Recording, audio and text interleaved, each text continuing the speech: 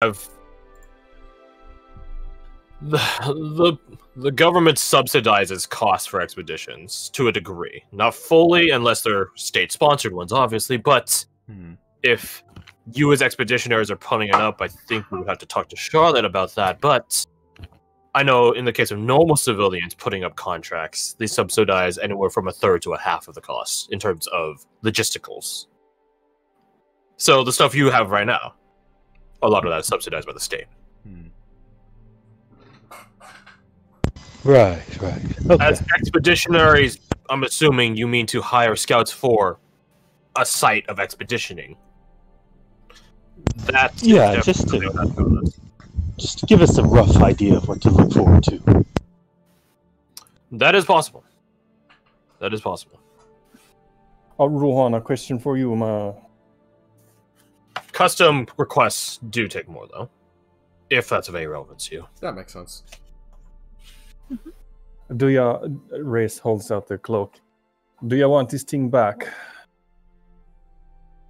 It does mean a lot to me if you're not using. it. Hands it back. Take it.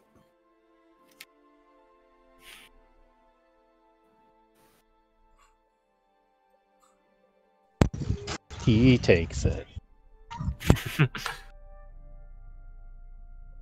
I'll, I'll, I'll make a thing. What did you say, Ember? Thirty-five hundred gold.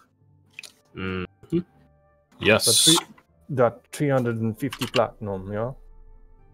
Yes. It's a big chunk of change. But better Alright. to use it than die with it. Slides over three hundred and fifty. Pleasure. Another thing for those intelligent lads and lasses to make another one of. no complaints from me. I I have a think question. that is shopping done. Uh, Well- sorry, Garth. Before you jump into the question, uh, that's one supreme healing for each of us. Hmm. Correct. Uh, I have updated the gold. Don't panic in the bag of holding. The money! Uh, that is a rebreather for Rays and uh, potions for the rest of you. Oh shit, we have antitoxins. Forgot about that. Yes, did have that, yeah. Uh, and a uh, cloak of displacement. That's part of the standard things here, I think. we In still have the- the fucking blankets. Yeah, I know. I think you also have the point of Ferrostone still. I mean, that might come in So- handy. We at some do. point. We the do. adaptable environment bubble fucking like you're basically dropping the equivalencies like a fucking sanctuary zone in like a sci-fi game with one of those. Yeah, Okay. what- oh, wait, that, That is shopping done, I think. Unless you guys have something. Hey, Let's say it. Uh, hey I don't think so. I was just after the basic health, I think. I think Garf has something. Yes, I do. But Um, I was wondering if you had any any capability to like bolster the armor that I have. Well, beyond what it already is, and also fix up the fucking laser hole or disintegration holes. I don't see any disintegration holes. Plus one equipment, magic equipment doesn't break that easily. Oh fuck, yeah, you're right. Uh, Yeah, I think that might just be emotional trauma that you're holding on to. There are definitely Really some gotta let that that are destroyed. I can see that, but the main core elements of it, particularly where the sigildry is, holds up. the important In terms parts. of bolstering it, you mean making it stronger itself, not making you stronger, right? yeah, from an out of game perspective. I'm not entirely looking for like a plus one AC. I'm looking for like the the resistance thing to like increase that, similar to like um That costs you. Uh, it'd be tampering with already. okay. This is Venkoshi armor, yeah, isn't it? yeah, yeah, yeah. Okay, that's a higher price. That makes sense. If I could get one 4,500? AC, yeah. Uh, how much do I have? Regardless of what you want to do, if that's forty five hundred. Yeah, Venkoshi gear is specifically designed to not be tamperable. that makes sense. They are very stringent in their equipment. And How much would it be? To get like a different suit of armor. Technicality. Well, one. here's a funny thing. In technicality, there is a number. There are a number of Venkoshi quartermasters that have the disintegration code for your armor right now Ooh, that's fun. to prevent it.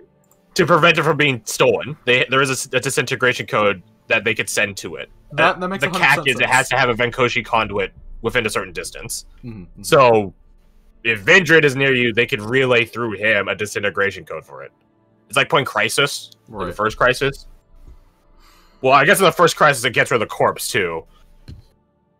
And Would- well, My question don't is, don't question. would we have been informed of that when we were given the armor? No. Probably not. Hmm. That brings up a problem because I was just like, maybe I could trade it in and get an armor that's equivalent and have him modify that armor instead. But I don't think they'd be fine with that. No, that's how you get on a Venkoshi shit list pretty fast. They're secretive. Ah, okay, I I, I, I think she's smart. Tenkai, you're not supposed to use the word Venkoshi anywhere. I haven't used that yet. I don't think I have. Yeah. Well, I'm just saying, like, that's how secretive they are. Like, they don't even use their own name outside like of the their fr- organizations. They're like the Fabruli. Everybody knows, but nobody knows. Yeah, exactly. No, no one. If you guys drop the word Venkoshi, no one would know who you're talking about. Ooh, that's mm-hmm. interesting. Like, they're out They're externally. They're just referred to as Maestro acquisition agents. Hmm. That must mean that they police it as well. That's ooh, I terrifying. like it. Uh, there so- are there are subdivisions of the Venkoshi forces. Like, there's the main one that you guys interacted with. There is um, there's a martial one, which is to there's uh I'm trying to remember. It's I remember the name of it is, but there's one that scouts out sites. There's martial ones that follow up upon it to di- to dictate how much forces are required initially. There's the main one, and there are I guess you call them silencers to keep their secrets amongst themselves. So you know, you're 100 percent correct. Don't spread that shit around. So, mm, how much? How? Mm, focus. I think I can How solve this swapping? problem for you, Rose. Yeah. How about swapping out the armor for something of his make that he can modify later down the line, or currently? You should you should definitely not give that to them. Like give him the plate. Yes. I wasn't going to. Uh, however, if you wanted to gain a plus one like boost, I I have the mithril plate. That's plus one that wasn't made by them. Oh, that's good. Well, the Venkoshi one I think is like a plus two, isn't it? Or is that a plus one? No, No, it's. Hmm. I think swapping that out. I don't believe I gave you guys plus two Yeah. armor. No, it's a plus No, one. I armor. don't think right. so. think so. You're right. I'm mistaken. Um, in that case, would he be willing to modify that armor instead? Uh, he'd be. wi- I mean, he's not unwilling to do any of these. It's just you guys are unwilling to pay him. Fair. Um, What would it affect the price to have that armor modified instead? it would be higher than, s- be higher than normal. Um, not as much as the Venkoshi one. Um,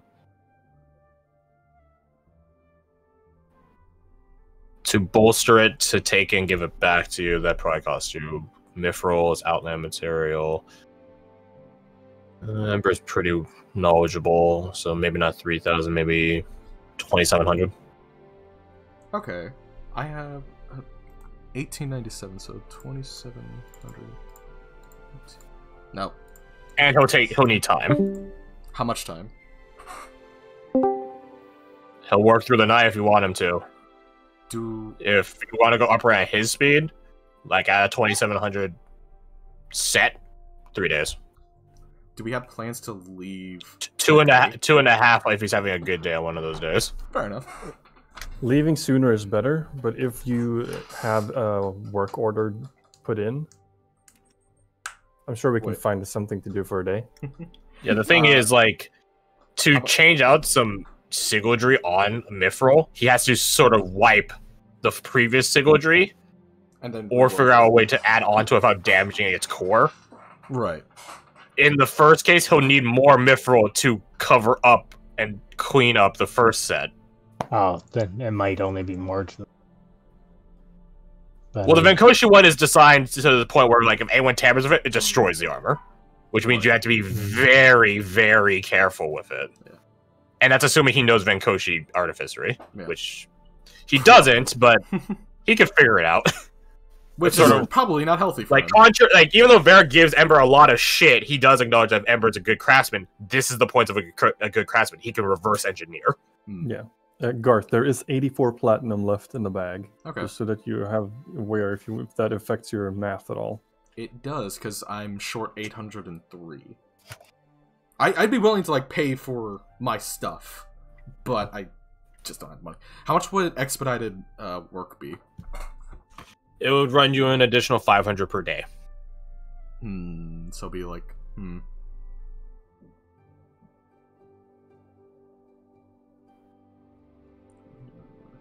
Because remember, Ember's in charge here, and he's the one that's going to have to be doing it. Yeah. yeah.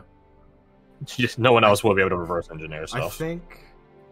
Yeah, I think just getting like um Actually, uh, time would probably be a better financially because at that point it's just like we're running a lot more. Yeah. Mm, we'll say 400 per day. okay. I think there's someone that could do some lesser procedures for in his stead, So then it'd like be the scrubbing of the sigilry, so to speak. Right.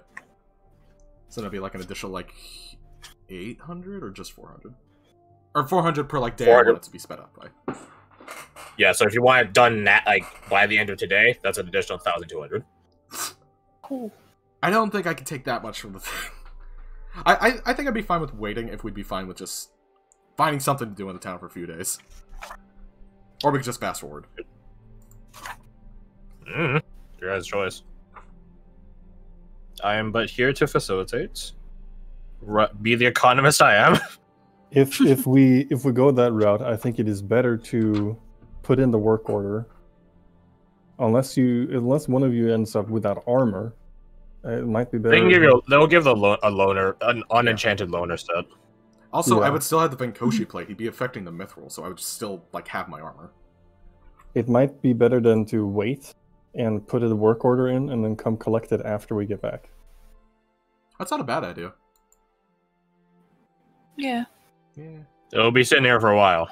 Yeah, because it's a while to get out to the Waystones, much less the other location, doing the missions and then coming back. What would I say? A month? So, uh, yeah, I've got I've got like two months stuck in my head or something. Is that? A month there and a month back. Yeah, yeah, yeah. I think Yeah. it's two weeks to Waystones, two weeks back. So Yes. one month for that one, Mhm. something like that. Maybe like one and a half, but it's along those lines. just wait like the three day. Yeah, and then however Still long it takes to actually get the stuff But- done. If if it's Ruan, they'll give you a plus one loner set because that one will magically fit you. Versus a, a normal unenchanted plate would be uh a more unwieldy, so to speak. Yeah, uh, whatever. It's good. I mean, I don't, I don't roll stuff that often. That's the only loss. And if it helps her is up. Well, you can have her like Venkoshi armor. Unless like, nah, he can't use it. Just uh, full stop. You can use it.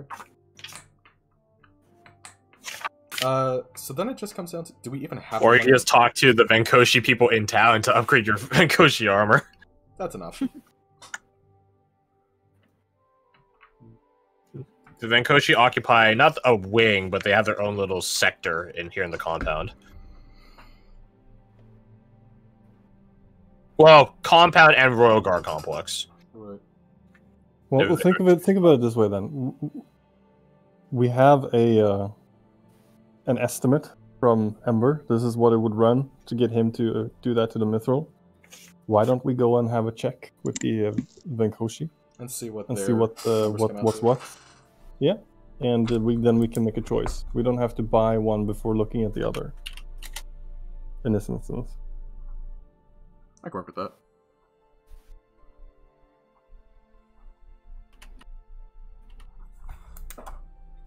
Any other purchases? No, I think I'm good. No, because I might need my money. By might, I mean I'm going to most likely need my money. So, you guys hold Ember to his word about the pricing and decide to go investigate a different uh, possibility. And uh, let me. Actually, one of you guys roll me a d100. I won't use a 99 for this one. I can. go for it. I'll it. be counter rolling against you. Boom. Too slow. Ah. Oh. Well, it's a good thing you're, you were using O's, right? Yeah. Oh, it's so close. You're so close. Clap. so close yet so far okay uh it'll be i think it'll be apparent why like what this lucky what how lucky this is. You'll you'll find out. So you guys decide to go talk to the they basically set up their own smaller area towards the back side of the expeditionary HQ compound. It's filled or it itself is sub compound does have its own barricade line and everything like like like there's like a cement wall dividers i guess and of course perimeter security and stuff like that and as you guys approach a number of sentinels i guess you call them watchmen like turn to look at you. They they know you're wearing their gear. They just don't know who you are because you know they know everyone that is stationed here and you guys are not, not. sleeping in their barracks. But you know your venkoshi armor does warrant you courtesies and attention as opposed to i don't know pointing guns at you. An officer walks up to you looking semi similar to uh, vindred unsurprisingly so I imagine a lot of them look semi-similar. Yeah, indeed. He says, rather simply, state your business. I won't be doing the gas mask filter 'cause it makes things too quiet. In Uh, immersion. I wanted to see if we could bolster this armor before going on a mission. Who are you? Uh, He holds out a hand to receive something. uh, we don't have like a. Uh, we're an expeditionary group that worked under Vindred recently. He To- puts his hand away. He turns on his heel and walks away. That's what I figured. And we'll be talking to that man, D. Connor. He's just walking into a building. It's like one of those like temporary, like mobile, like you know, like one of those ones. Mhm. Where it does look like field field outpost style. He walks in. You guys are just sort of left standing there with a number of guards looking at you. Still, not like raising. Like their weapons are drawn, but their weapons are always drawn. Yeah, they're they're doing guard duty of just make sure shit doesn't happen. About five minutes later, he comes back out. Follow me. Nods and He walks off to the side to a different building. You guys cross past the you know barricade line and follow after the Sarvaton. Well, actually, no, he wouldn't be Sarvaton. He'd be higher. Not that you guys identify rank. Never mind. You guys, you guys don't know how to differentiate shit. Yeah, you guys don't know how to differentiate it. So, anyways, you guys follow after the officer, and he brings you over to their version of. It's still, it's an open aired temporary setup. If that makes sense. Like it has like corner pillars built up, walls interlacing between all of those, a grid top, uh, a yeah, well, yeah, gridiron top. Like so, it still has open ventilation and stuff like that. He brings you over to their forges and stuff. Their their uh, to use the name of the wind terms, fishery. That's a fun word. It's artificery. Everyone just calls it fishery, fishery. Ha ha ha. ha. Whatever. So you over to their side of things, and it is a drastically different style than what Embers is, but it's similar enough to the one you guys saw before with uh, Quartermaster, I believe, uh, Quartermaster Clyde, Clyde Levins. That sounds familiar enough. You know, the the welding mask guy who sort of snaked around in a really ominous manner, despite how much shit he had on him. Quartermaster Clyde, funnily enough, is here. and he still looks the same. Quartermaster Clyde still has his mask, his welding mask. He has all the different gizmos, gadgets, and tools that he has around his legs and on his chest and stuff like that. Easy access. And as you know, you guys enter, it's like a heavy set door that has to get rolled open to enter this place. Quartermaster Clyde just very slowly turns to look at the new entrance and sees you guys. And then the officer just takes a step to the side and just gestures to you to talk to him. Hello again. the welding mask, like the visor, changes color. It's like glowing before it goes from red to blue. Like it clicks like a blink. Hmm, interesting. She's been sneaking around you, looking at you like a designer looks at their outfit, which I guess in his case is pretty freaking true. Yeah. He lifts up your arm, Oh, like just grabs and just lifts it up like you're a doll. nifty. Uh, I was wondering if I could have the armor bolster. Force damage. way. Mhm. Artificery, not tampered with. He doesn't seem he's paying attention to you. Ah, that that tracks. That tracks. After realizing that, yeah, she's just gonna hang out and let him do his thing. You see that at some point an assistant of his has come over and is recording down his notations, his verbal notations. Mm. Long distance.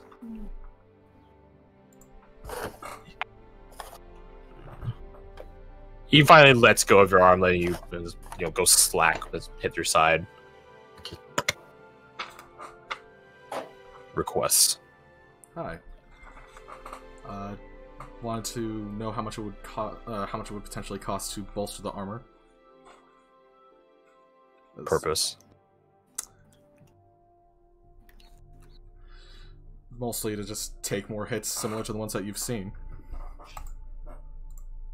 Your purpose.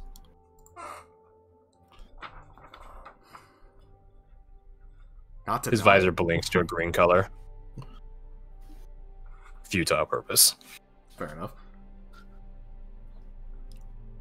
Our most recent mission be uh, investigating waystones on the way to our giant outpost. His visor blinks red again.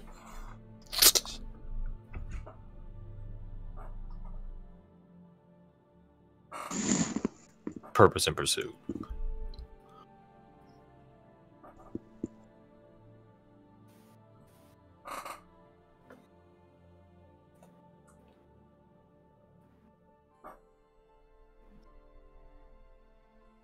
I don't have anything else to add.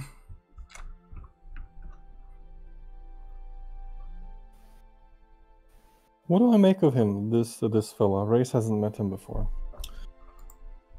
Well, off the bat, he smells of fire, of steel, of magic.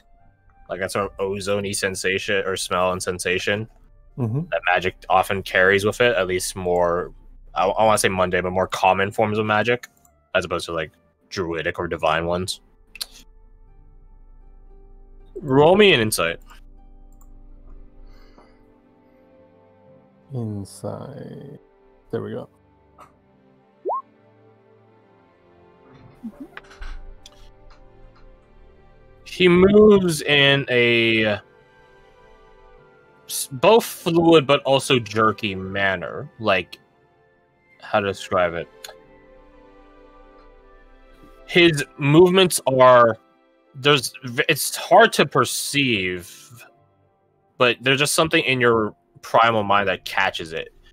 It's a, it's ever so slightly disjointed, disconnected the motions themselves are very fluid, but there's like a small break, a lull period, in which another one gets cued, so to speak. The motions themselves are just fine, and there there's such a small dilation time from one to the next that it looks like one more one long, fluid, normal, semi normal motion. But you can detect that there's some pause, ever so slightly. You don't know what sort of creature he is human, elf, or he could be dragonborn for all you know. You can't see his form at all. He's entirely shrouded, covered in smithing and artificery garb and def- um, defensive layers. You don't know what he is, but you get the sensation that he's only half of what or what he is at this point. Maybe less. But he speaks of wisdom in the few times he does speak, or how short he speaks. In the same way that, similar similar to grandfather. Except obviously Grandfather is a bit more emotional and all that. Um, Yeah. but this but this guy speaks with how to say a uh, well earned knowledge of experience throughout time.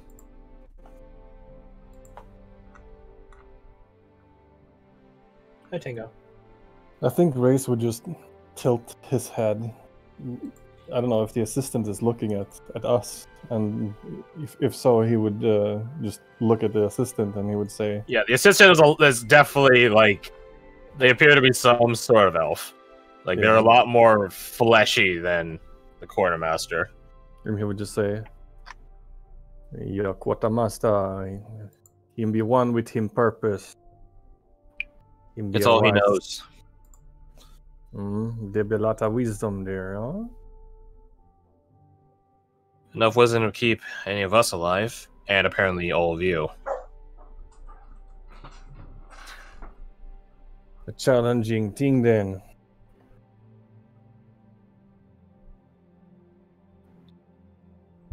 We don't No, scoff at that challenge.